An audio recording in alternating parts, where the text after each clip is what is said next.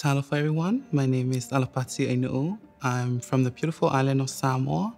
I'm currently studying a Bachelor of Environmental Policy and Management at the University of Adelaide. Samoa is a very vulnerable country due to the effects of climate change. This is like a highly prioritized area back home. So from the Australian Awards, I get to have the skills and knowledge to initiate policies and come up with strategies to prevent the impacts of climate change for my country and then employ it in a way that it, it is effective in the long term. Straight out of high school, I got the chance to come to Australia and study. I read somewhere online before I did my application that Australia has a long history of taking care of international students. There's like low suicide rate and low violence in Australia.